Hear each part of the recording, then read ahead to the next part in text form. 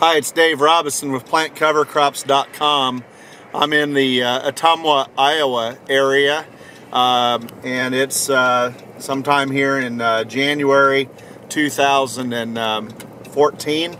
And I'm on my way home from a conference, and uh, for all the good work that's been talked about in cover crops here in Iowa, I just want to look at all this black snow.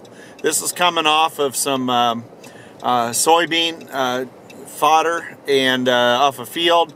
And uh, the soybean uh, stubble is still out in the field but we've got so much black snow. It certainly appears that maybe there was some uh, uh, nitrogen already put on these soybean on this soybean field for next year's corn crop.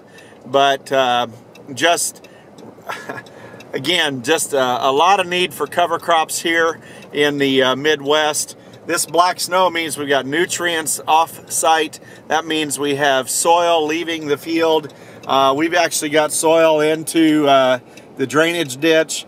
And uh, it's just, to me, this is just really like saying, come on guys, let's get it together.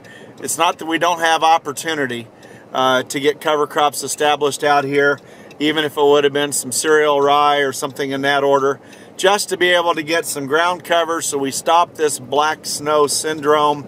Uh, here we are, we've got a uh, drainage ditch right down here underneath the road and up here as well. Just a whole lot of, of uh, soil and nutrient loss off this field. So again, Dave Robison, plantcovercrops.com. Uh, I think it's the 17th uh, or 18th, whatever the Saturday is, uh, of this week here in 2014 January.